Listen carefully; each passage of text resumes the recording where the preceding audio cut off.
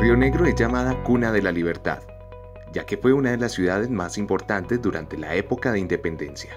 Este año se celebra el bicentenario de la Batalla de Boyacá, acontecimiento que tuvo lugar el 7 de agosto de 1819 y fue crucial para la independencia definitiva de la naciente República de la Nueva Granada de la Corona Española.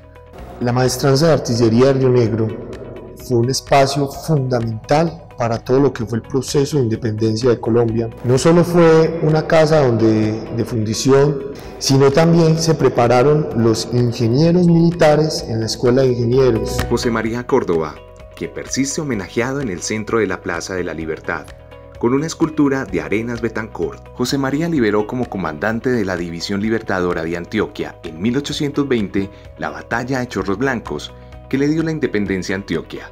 También la batalla de Ayacucho, que fue fundamental para la independencia del Perú. Por esta batalla es reconocido como el héroe de Ayacucho, y también por haber pronunciado la frase, armas a discreción, paso de vencedores.